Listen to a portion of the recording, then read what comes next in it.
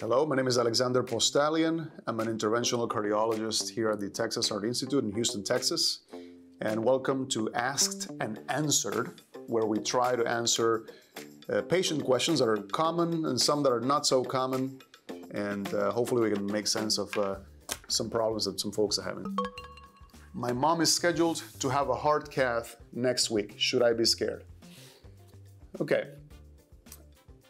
A heart catheterization, in general, is going in your arteries or veins with a cath, advancing it to your heart, and either taking pictures of the arteries or checking the pressures inside your heart, which can be important to decide what medications you should be on and make some diagnoses. So it's a relatively common procedure. We do it in the hospital every day, so the overall risks are low.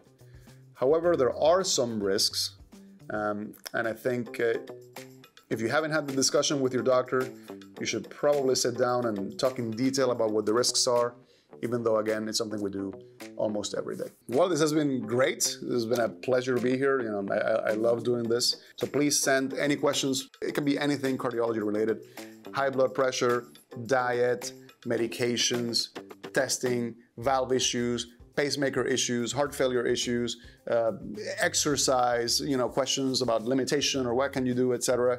Um, just send it all. We'd be happy to look it over. Maybe they'll feature in our next uh, session here. And again, this is a general discussion. So if you have any symptoms like chest pain, shortness of breath, it's always good to talk to your doctor.